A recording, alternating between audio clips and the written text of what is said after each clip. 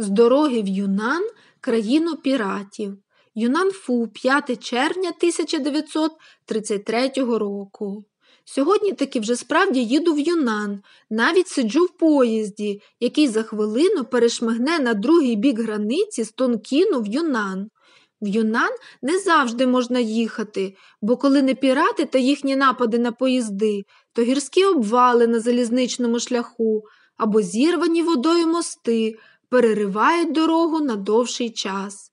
Тепер, кажуть, сухий сезон, себто пірати поїхали просохлими доріжками вглиб гір шукати свіжого повітря та свіжої ловлі, а за той час попід мостами присохли водою розриті торічні прогалини. Отже, можна поки що проїхати аж до останньої станції юнанської залізниці Юнан-Фу. Поїзд торохтить по перекинутім понад погранично червену ріку мості та, покидаючи Ляо-Кау, в'їздить крізь залізні ворота до Го-Кеу. Ревізія, паспорти, мито. Відчиняючи мою валізку зі самого верху, китайський митний урядовець дуже важний, знайшов дві коробки рецинусових капсулок, дотепний дарунок одного з моїх знайомих, що приніс мені їх на двірець у ханої, мовляв, для кращого травлення, китайських присмаків, столітніх яєць та тяжких піратських пригод. Упевняв мене мій друг, що одиноке спасіння Китаю в рецинусі. Чому не зголосили ви тих ліків? питає дуже поважно урядовець. Бо я забула проковтнути їх, заки переступила китайську границю, пояснила я хворим голосом. Китаєць далі проводить свою анкету. Що це за ліки? Це на прочищення. Ви заплатите за них, вирішив він подвійну тарифу. Тому що це на прочищення, тому що не зголосили. Але ж бо я вас запевняю, що це для особистого, негайного вжитку. Це байдуже, незголошені фармацевтичні предмети та ліки треба виміряти подвійно, відчитав він на пам'ять, наче отче наш. Скільки ви за них платили? Це дарунок. Скільки коштував цей дарунок?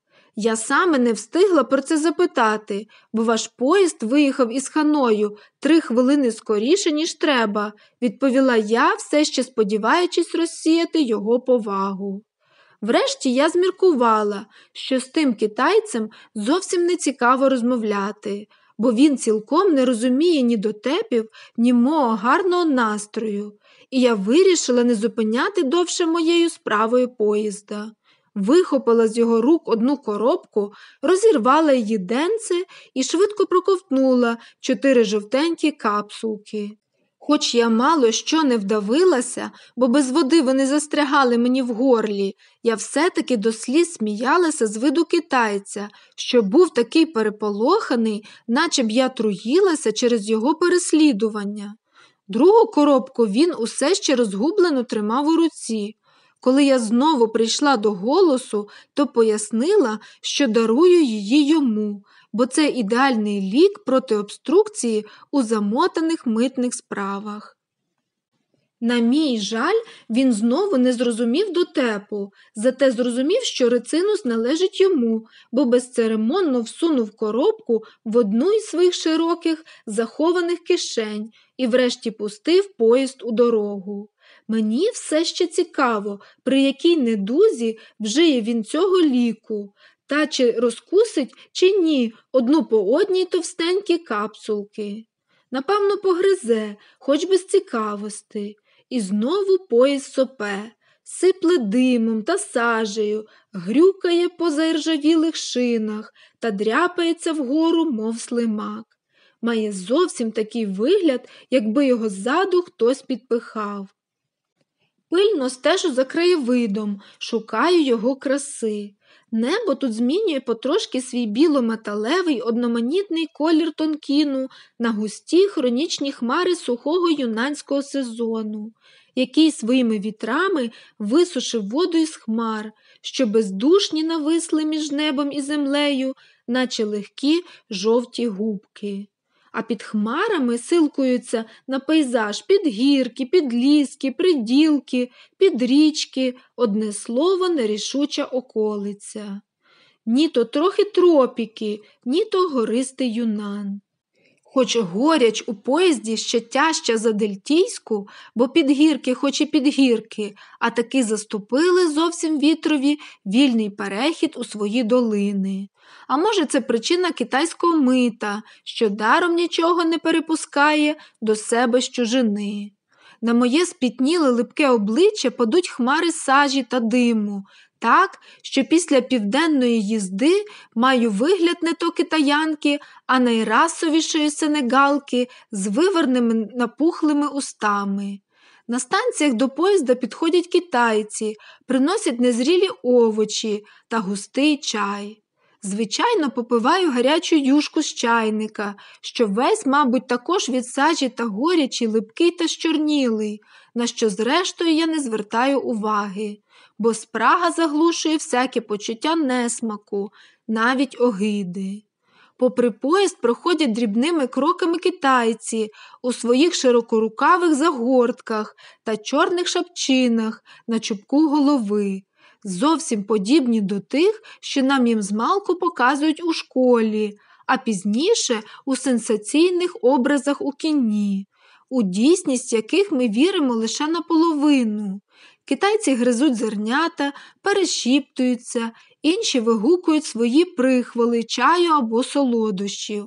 Ще деякі тихцем задумано, очі в землю, їдуть тінню попід мур, планують. Другого дня їзди під вечір я врешті вперше побачила прославлених справжніх китаянок на штивних малесеньких ніжках, що стрибають з одної на другу, наче горобці. Дивлячися на це їхнє незграбне шкутильгання, на їхню ніби механічну ходу манекенів, я врешті вирішила запитати мого сусіда китайця, про походження тих незвичайних жінок з карликовими ніжками. Він пояснив мені, що це не спеціальна раса людей, а стародавній збережений звичай сповивати від дитинства ноги жінкам, аж доки вони не зрівняються з литками, майже у рівненькі заокруглені стовпики, на яких жінці нелегко втекти з дому її пана мужа. Маленькі ноги жінки це її гордощі, пояснював він. Я маю три доньки, розуміється, вже заміжні, бо вони мають найменші ноги з цілої околиці. А як же довго тривають ці тортури? запитала я. Менше більше десять літ. І цілих десять літ ваші жінки покірливо зносять ці тортури, навіть часом з розкішю. Це неймовірно. Нема краси пані, яка не коштувала би для нас оплати терпінням. Та сентиментально розмовляючи та співчутливо споглядаючи на китаянок, що стрибають уздовж поїзда, наче накручені манекени, їду щораз то глибше в край, який досі в моїй уяві належав до легенди, до світу неможливостей. Поїзд сопе, повзе вгору, проїжджає через села, містечка, ріки, влазить попід довгі тунелі, наповнені темрявою, густим димом та газами, що отруюють повітря. Ці тунелі це справжні вправи від дихальної витривалості, бо в них поневолі затикаєш хусткою носа та уста, бо інакше задушишся газами. Кожного разу по виїзді з тунелю ми, я та мій сусіда, уважливо та привітно всміхаємося одне до одного, з виразом співчуття та вдячності на думку про нетривкість людського життя. Байдужий на наші почуття бездушний поїзд все гуркотить, щораз то щедріше сипле іскрами, клубами, димом та вогнем, мов скажена звірюка в погоні за ворогом. Після найменше 30 тунелів я врешті сказала моєму сусідові, що мені томить одноманітність юнанського тунельного пейзажу. Та він запевняв мені, що вся краса цього пейзажу не у варіантах, а саме у його постійності та невтомному повторюванні тих самих кольорів, вражень і форм. На доказ цього він обіцяв мені, що матиму щастя ствердити це особисто, рахуючи тунелі та подивляючи глибину їхніх барв. Врешті він запевнив мене, що я зрозумію велич пейзажу щойно після довгої низки тунелів, коли переїду останній тунель юнанської залізниці, себто 178-й. Неможливо, перепитала я його, збентежена перспективою тих 140 тунелів. Ви захоплені, правда? Я це розумію. Ніхто не може бути байдужий на красу наших юнанських гір. Недаремно вони називаються гори сто тисячі вершків. Дивний китаєць, подумала я, він міряє красу певною кількістю повторюваних чисел. Чим більше тунелів, хоч і він у них душиться, тим більше його подив. Чим більше вершків у гір, тим певніша запорука їх краси. Але це, мабуть, вина свіжого впливу на нього європейської цивілізації, якої він не зрозумів як слід. Виправдовувала я його як могла бо ж не могла я повірити в те, що в Китаї я не віднайду вже й сліду цієї тонкости, рафінування, уяви та смаку, які я подивляла в Європі на старинних зразках китайського мистецтва. Зажурена долею Китаю, його мистецтва та впливом на нього Європи, врешті під вечір я приїхала в Амічау, другий і останній вічний етап з ханою в Юнанфу. Амічау. На жаль, в одинокому лише готелику цього прославленого міста піратів, де я зупинилася на ніч, господар усе змобілізував на мої послуги, мухи, комарі, блощиці, несвіже м'ясо на вечерю, злодіїв опівночі, музику та гамір до досвідку. Одне слово, усе за винятком єдиної приємності, на яку я покладала стільки сподівань гарячу купіль. Все, що ви собі забажаєте, виправдовувався він. Може, мандрівний театр, але ванну у цілому місті не найдете навіть на показ. І коли я згадала, що саме в надії на ту ванну я відмовила гостинним запросинам мого китайця з поїзду в його рідний дім і цим утратила можливість ближче зазнайомитися з родинним життям китайців, ще його трьома доньками, з яких одна має найменші ноги з цілої околиці, то серце з жалю задудоніло в мені, як порожня криниця, коли плюнеш в її глибоке дно. Вже з півгодини минуло, відколи я непорушно чекала на замовлений чай, спершися на поруччя балкону, що повис під високим вікном моєї кімнати над сумовитою захмареною від вечора долиною. А чай все ще десь варився на триніжках, довкола яких з давніх давен, певно, грали на скрипці та співали чарівних пісень. З досади і я стала співати українську співанку а Соловейко тьохкав, все тьох та й тьох та тьох. Звідки нараз взялася та зачарована густа хмара? Не знаю. У Китаю взагалі трудно що зрозуміти. Хмара надбігла, нависла над самим моїм балконом, та ледве я встигла скинути з себе одяг та витягти з валізочки кусник мила, який з хмари вдарив рясний теплий туш. На дорозі під балконом, вертаючись із поля, зупинився зачарований моєю піснею та пантомімою якийсь китаєць. Хоч ненадовго, певно, був у страху, щоби дощ не змив з його обличчя печатки його китайського походження, а може, й узяв мене за білу чарівницю у вечірньому трансі новонароджена, наче гриб по дощі, та знову білошкіра, я бадьоро збігла сходами на вулицю, на велике здивування власника готелю, грека, який півгодини перед тим, бачачи мій похоронний марш, схід по сходові, по втраті надії на теплу ванну, щиро спочував зі мною, а навіть обережно запропонував мені свого доброго знаменитого лікаря. Він був певний, що я тяжко хвора, бо інакше нащо ж мені та гаряча ванна. Тепер він знову підбіг до мене та спитав, чи я не голодна, чи не потребую його послуг, чи обідатиму в готелі, чи вдоволена з кімнати. Врешті попередив мене не віддалятися самій від європейського центру, септо двірця, бо тутешні китайці ще не зовсім звикли до виду білих та, мовляв, дуже ще полохливі. Я заспокоїла його, впевняючи, що китайці це мої старі знайомі, що я живу з ними в великій згоді, та що я саме йду шукати одного з моїх друзів. Я все ще думала про мого втраченого, невіджалуваного товариша подорожі. На жаль, господар не міг мені пояснити, де жив мій добрий друг, такий то китаєць, що носить синю довгу загортку з широкими рукавами, на голеній голові має чорну шапочку, а під шапочкою вузенькі скісні хитрі оченята.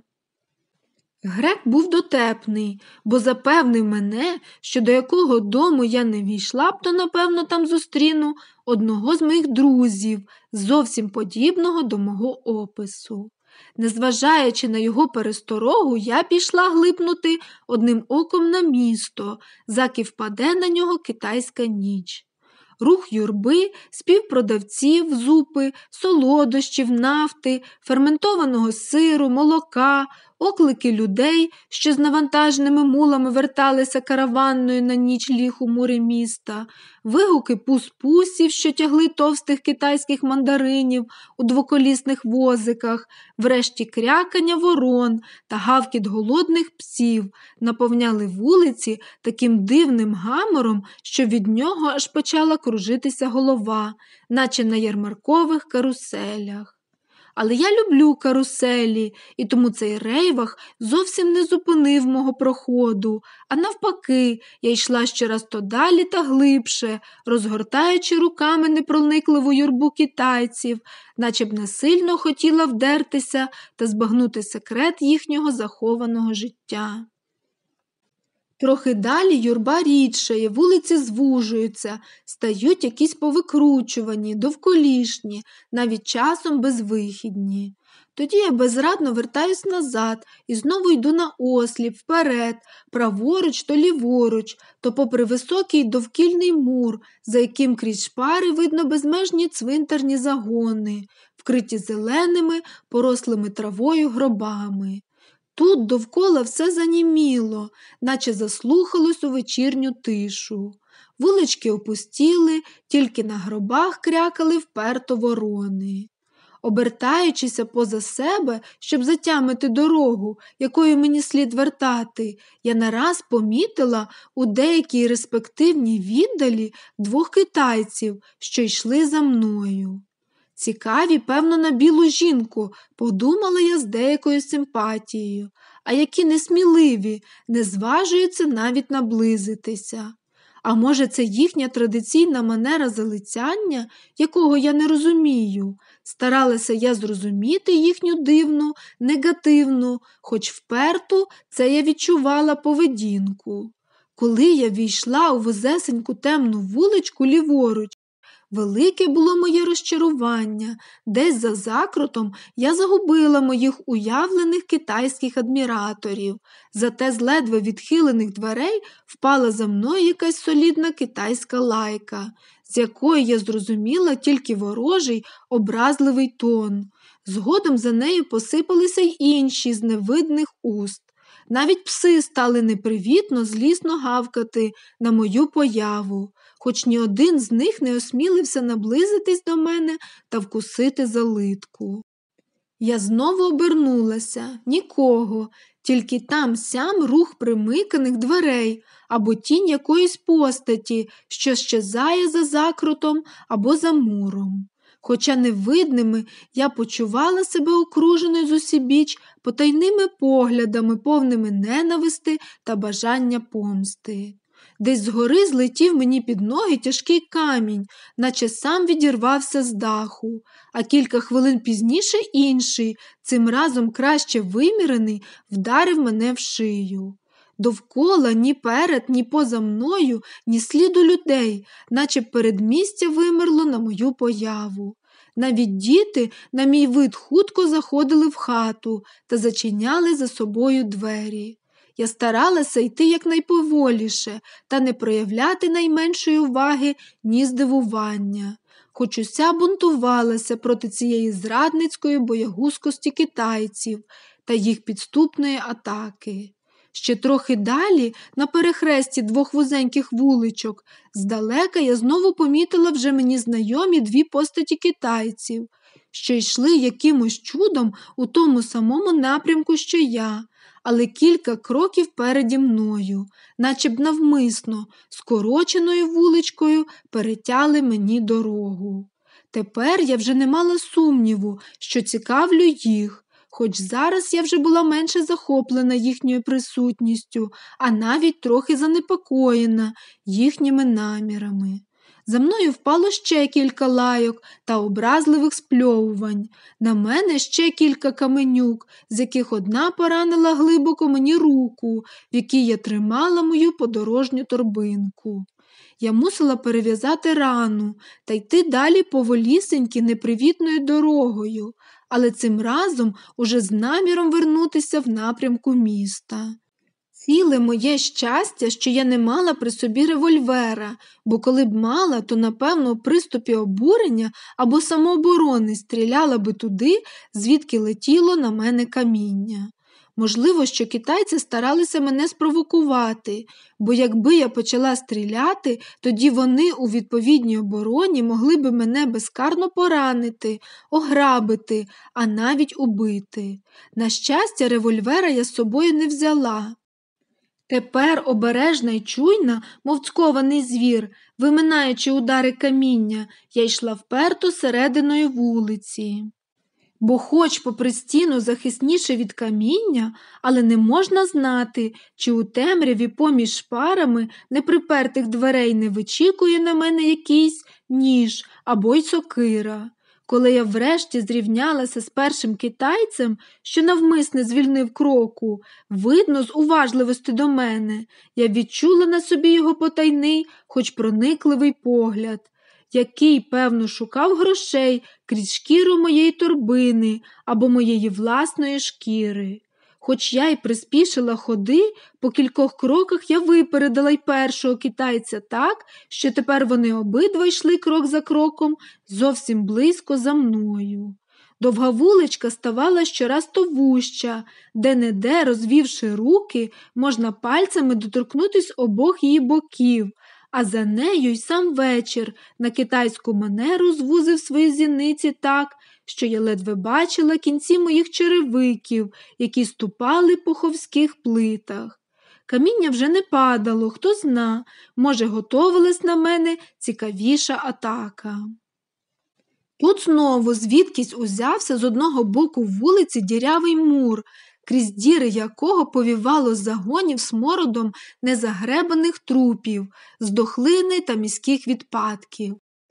По мурі час від часу падала від зрадливого світла з вікна тінь китайця, що беззвучно все йшов за мною. Кожної хвилини я вичікувала, як він врешті нападе ззаду на мене. Може, зловить мою шию в свої худі костисті руки або вдарить мене по голові сучастим бамбуком, і гострий сучок застрягне. Вичікування ставало щораз більш нестерпне. У таких хвилинах воно довжиться у безкінечність. Собаки, ганьбила я їх про себе, затискуючи зуби, щоб не крикнути. Чи раз вбивали ви вже свій ніж у білі ребра?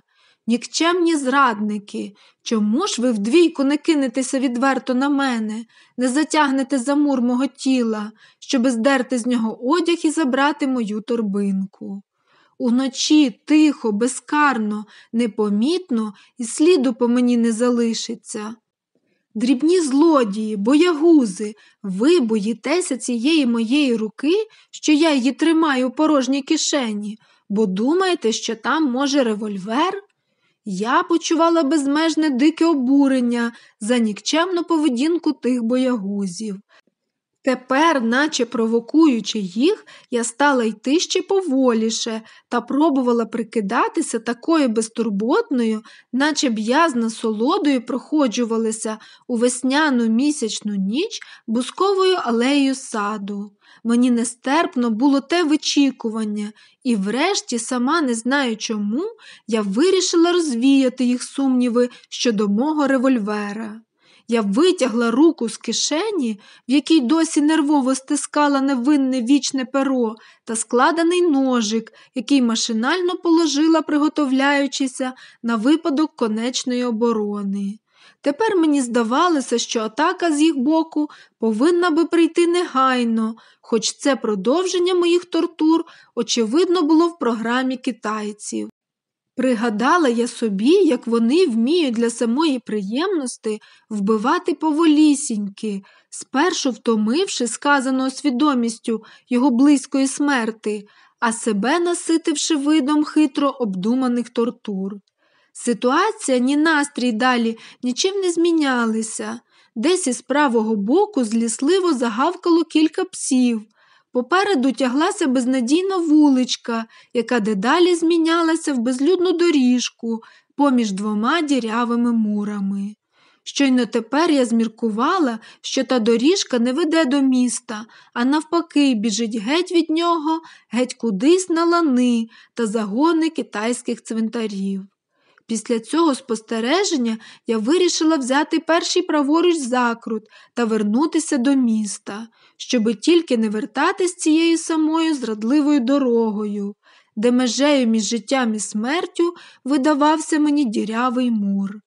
А обидва китайці все ще беззвучно, наче мої власні тіні, сунулися за мною вздовж стіни. Правобіч за закрутом вулички щораз то довше гавкотіли пси, мов би до невидного місяця. Коли я зрівнялася з закрутом, то звітам впала на мене струя осліпного світла, від блиску якого я зажмурила непривичні зіниці. А може, це вже світло? блиснула в голові злякана думка, і я старалася відчинити повіки я побачила перед собою нічну сторожу з п'яти озброєних у гострі байонети та в наготовлені револьвери жовнірів, з яких перший та останній освітлювали дорогу батарейними лямпами. Ледве зрозумівши, в чому річ, я швидко глянула поза себе за моїми нерозлучними товаришами нічного полювання попід цвинтарні мури. По них не лишилося більше сліду, як по справжніх тінях у повному світлі. Я верталася в місто з ескортою китайських жовнірів. Так невинно і глупо провела я свій перший вечір в Юнані, країні піратів.